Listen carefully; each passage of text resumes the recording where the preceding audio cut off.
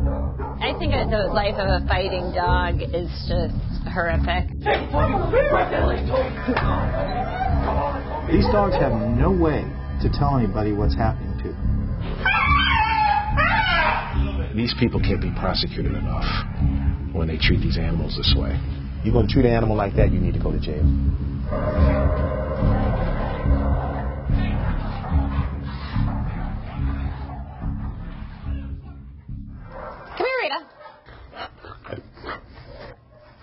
Her face was ripped open when we found her. I mean, just horrible. I guess it breaks my heart to think that someone took such a beautiful animal and, you know, just changed her forever. Dogs bred to fight never get a chance. These dogs should be our best friends, members of a family, but dog fighters turn them into killing machines. Dog fighting is illegal in all 50 states. Yet the Humane Society of the United States estimates more than 100,000 Americans participate in this blood sport. What started out as a rural backwoods activity has taken hold in the inner cities and suburbs. You got rappers like DMX and the hip hop culture. A lot of people feel that the pit bulls are a status symbol. You know, they're these tough dogs, and uh, we should be fighting because it puts you like in the in crowd.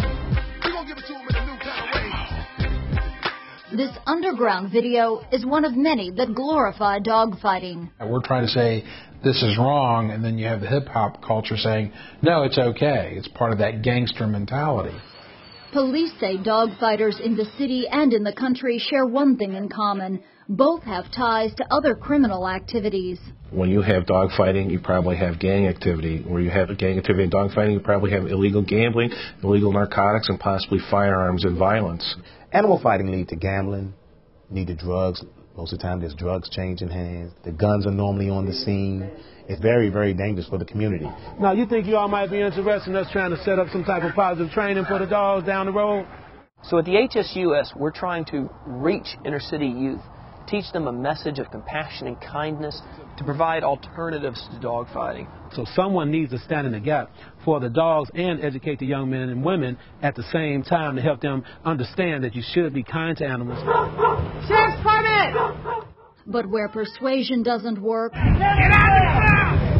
force does. At the HSUS, we've recently doubled our reward fund, offering up to $5,000 for people that provide the information that leads to the convictions of these dog fighters. And we're working to make it a felony to even attend a dog fight. And we're helping law enforcement put together cases so that we can prosecute these people and put them behind bars where they belong. Each raid takes dogfighters off the street. I'd say about four. But it also places hundreds of pit bulls in America's shelters where they remain until their court cases are resolved. We've literally held uh, over 70 animals for close to a year, and it's placed a huge strain on our resources. In fact, the majority of dogs in many urban shelters are pit bulls and pit bull mixes. Shelters make every effort to help these dogs escape the miseries of the fighting world. Those miseries begin with life on the chain. There's Jessica. What's up, you ugly bitch? And often end with death in the ring. The average dog fight lasts from 45 minutes to an hour and a half, with some exceeding three hours. And sometimes even the winners will die from their injuries. And when they're fighting, and you see the dogs, you know, locked on each other and so tired and just wanting to give up, and then you hear the owners on the floor beside him Let's go, let's go, Magpie. Let's go, Magpie. Come on, baby. You can do it. Come on, keep fighting. And you see their tails start to wag at the same time they're trying to kill another dog. And it's it's a shame because these dogs, some of them, are really great dogs. I mean, they they love people. They'll do anything to please their master. And they've been so corrupted that their lives are ruined. Because of what the dog fighters do to these animals, people are left with this false impression that all pit bulls are vicious killers. In fact, pit bulls as a breed are generally very sweet natured animals. Just like that, just like that. Bump them, bump them. These dogs don't know why they are in the fighting ring. There you go. There you go. There you go. There it is. There it is. There it is. There it is. Their owners force them to fight with bloody results. She's got that leg pretty good.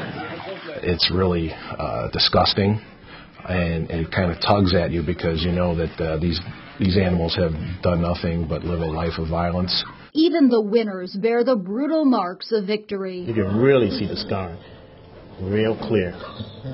But pit bulls aren't the only victims of dogfighting.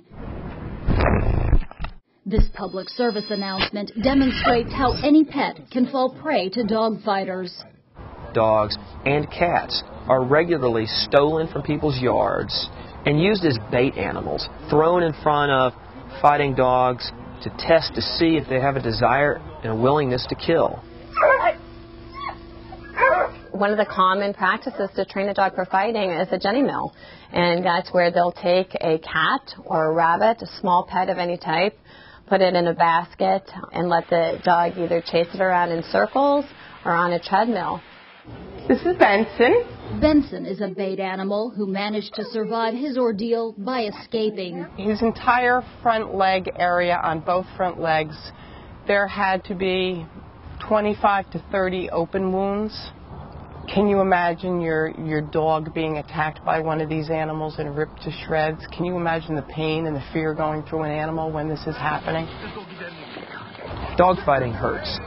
It hurts the dogs that are victims of this cruel blood sport. It hurts children exposed to the brutality and desensitized to the suffering of others. It hurts animal shelters that are overrun with the castaway victims of dogfighting. Dogfighting is a lose lose for a community. The general public now is more aware of animal cruelty and they're now more aware of dogfighting. Some of the recent cases, I think, are what it took to bring that awareness to a national level. First, I want to apologize. Dogfighting is a terrible thing. She can tell people in one second with her eyes and her face more than I can tell people in a million years. And that's important that we get to know dogs like Rita and we don't let them die in vain. You know, she fought in the ring. We got to continue her fight in the world, in our community, and make sure that this isn't tolerated.